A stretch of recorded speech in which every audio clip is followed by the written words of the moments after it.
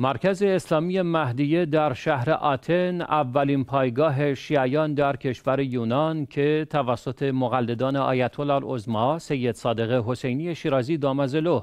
راه اندازی شده است طی برگزاری مراسمی رسما فعالیت های خود را آغاز کرد. این مرکز بر اساس توصیه ها و راهنمودهای آیت الله العظما شیرازی در شهر آتن پایتخت کشور یونان راه اندازی شده است که به احیای مناسبت های دینی و نشر معارف اهل بیت علیهم السلام می پردازد. این اولین بار است که شیعیان در شهر آتن می توانند یک مرکز مستقل شیعی برای برگزاری مناسبت های دینی از جمله عزاداری های ماه محرم الحرام داشته باشند. در این مراسم حجج اسلام و المسلمین سید هاشم خاتمی و شیخ رحمان حائری نمایندگان آیت الله العظما شیرازی و همچنین اعضای حسینیه گلزار زینب سلام الله علیها و جمعی از شیعیان و اهل تسنن مقیم شهر آتن از کشورهای افغانستان، ایران و پاکستان